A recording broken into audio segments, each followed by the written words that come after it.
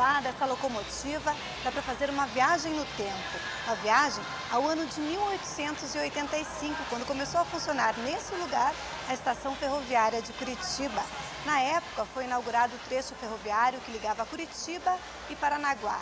Os trens levavam para o porto erva mate, a madeira e traziam para a capital o progresso e o avanço tecnológico. Por aqui não circulam mais vagões.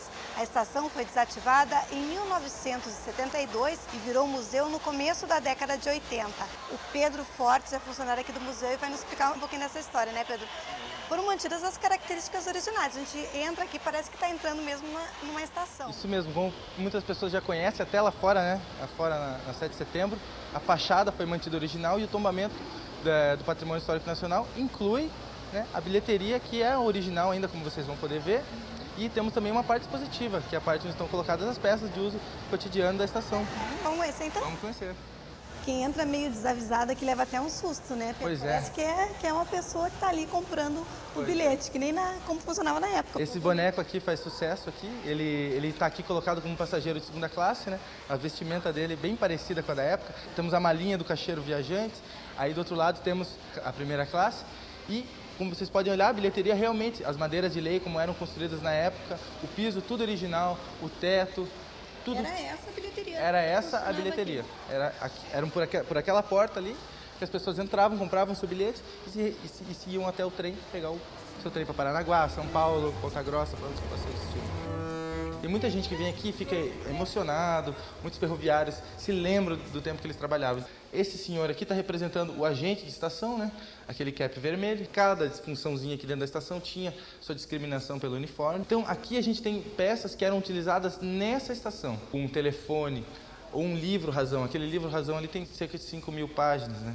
Então era o computador da estação. Fazia contabilidade. Toda a contabilidade. Ele é escrito da primeira à última página de lápis e uma letra que parece um desenho. Então, assim, tem coisas assim no passado que, que nos emocionam e nos ensinam a, a compreender hoje em dia que a gente só escreve com um computador, não sei o quê. Então, aqui, assim, você às vezes consegue lembrar de uma coisa que você acabou não vivendo.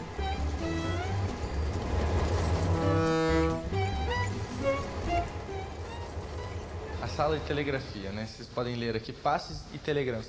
Então, a gente tem que imaginar, né, que numa época como essa, final do século XIX, o telefone era uma coisa muito precária. Quando Dom Pedro II recebeu um telefone, ele não tinha para quem ligar, então ele fundou a Companhia Telefônica Nacional. Aqui no Paraná ainda era uma coisa muito precária, então para você ter uma comunicação com a Serra do Mar, ou com o Marumbi, com a estação Marumbi, ou com qualquer outra estação Roça Nova, você tinha que ter, fazer o uso do telégrafo. O estado do Paraná, antes da estação, ele ainda se encontrava num estado de desenvolvimento muito atrasado em relação aos outros estados do, do Brasil. Então aqui a gente vai ver um pouco da história da comunicação da nossa ferrovia.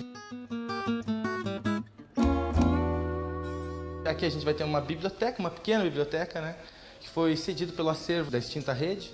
Todos os campos do conhecimento que envolvem um trem, que envolve uma ferrovia, desde livros de engenharia, de, de técnica mecânica, livros de história. Temos até contos, livros de contos de, sobre trens. aqui é a nossa Mariazinha Fumaça, né? Então, essa, essa, essa máquina ela é uma máquina inglesa, né? Ela era usada aqui no Paraná, em Venceslau Brás, nas minas de carvão. O trem colaborou muito para o desenvolvimento mesmo do Estado. Né? Definitivamente, né? de maneira precisa. Porque não, não havia no Paraná, devido a um fato que todos conhecem, é que a muralha, né? muitos chamam de muralha, chama Serra do Mar. Porque naquele, naquele, nesse tempo a Serra do Mar era verdadeiramente uma muralha intransponível. Você só passava de burrico. Ninguém tentava fazer o, o caminho do Itupava mais a pé. Era uma complicação enorme. Não tinha, não tinha como você escoar. Por mais que você produzisse um café, você não tinha como mandar para lugar nenhum. Nem para São Paulo ou para Santa Catarina era complicadíssimo. Então, às vezes, eles mandavam para o porto e se mandava de barco para os outros estados. Né? Que era muito mais viável para aquele período. Hoje em dia nós temos as estradas, isso é mais fácil, mas naquele período isso era uma, um, uma inovação enorme, uma tecnologia muito grande, que na Europa já era feita há mais de 50 anos. Né? Começou, o trem começou a colaborar com, com a erva mate e mais tarde com a madeira. Né? A gente vê que tem um painel aqui também que fala do ciclo da madeira, que foi importantíssimo né? que tivesse esse transporte ferroviário na época. Sim, essa, essa inovação da madeira vai ser importante em muitos aspectos, econômico, social, até territorial, né? Porque vai ser ela responsável pela nossa triste guerra do contestado, né? Que vai ser uma guerra pela madeira, uma guerra por território que uma multinacional chamada Salter Brazil Lumber Company vai trazer para cá e vai expulsar os, os colonos de suas terras para fazer a exploração da madeira. Mas a história da madeira não tem só coisa ruim, não. Ela trouxe um crescimento populacional para o nosso estado muito grande e econômico também. De maneira que ele, o Paraná conseguiu se interligar com os outros estados, economia, essa economia da, da, retirada da madeira que já era feita há muitos séculos. A gente tem esse mostruário de madeiras brasileiras. Esse mostruário ele tem cerca de 105, 106 anos. E, e para que servia isso aqui? Ou seja, ele ficava aqui na estação com o intuito do o comprador da madeira, né, provavelmente o estrangeiro, ia escolher a madeira por esse mostruário.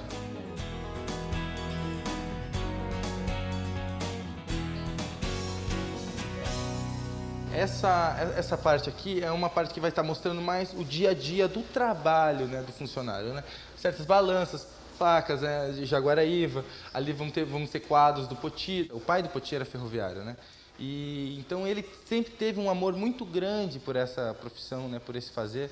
Então ele vai nos deixar aqui duas obras, duas maravilhosas obras, né, uma, uma homenagem aos guarda-freios e uma gravura que ele vai ter feito para os ferroviários, que vai engrandecer nosso acervo enormemente. Né. E o que, que são essas peças aqui? Então, são luminárias de, de, do trabalho cotidiano da estação também, né. Ali a famosa sineta de, de trem né, que a gente vê todos a bordo, então, era aquela que era usada aqui nessa estação. Esses materiais são materiais de construção dos trilhos, daí, né? E, e temos aqui uma calculadora, calculadora que era utilizada aqui na estação, uma calculadora mecânica, nossa caixa do tempo, né, que vai estar mostrando a história desse espaço. Então, ali dentro dessa caixa foi colocado todo o material de inauguração do museu. Né? Foi inaugurado por Dom Pedro II. Hoje, 120 e poucos anos depois, a gente pega e olha e sabe que essa caixa foi aberta duas vezes. Quando ela é aberta, as pessoas observam o que tem dentro, é colocado tudo de novo. E, e, e é adicionado mais, né? Daquele período é adicionado a mais, né? Então, a próxima vez que for aberta, que vai ser em 2035, vai ser adicionado mais alguma coisa que, que a Caixa Espero ainda esteja aqui, né? E o museu também. E o museu também. E vocês todos sempre visitando a gente. Né? É isso que importa. Obrigada, Pedro, por esse passeio no tempo, essa viagem no tempo. Obrigado vocês, né? E, e, e convido a todos né, a virem conhecer o Museu do Ferroviário, que é um, um uma, vamos fazer uma viagem né, no tempo e com certeza vão querer fazer uma viagem de trem no dia seguinte, logo em seguida, se Deus quiser.